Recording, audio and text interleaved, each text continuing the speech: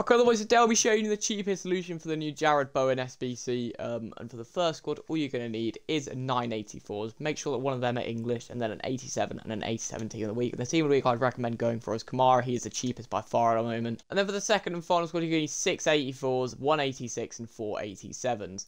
Uh, that is as simple as that, boys. If you do need any help, let me know down in the comments, but that is cheapest solution for Jarrod Bowen.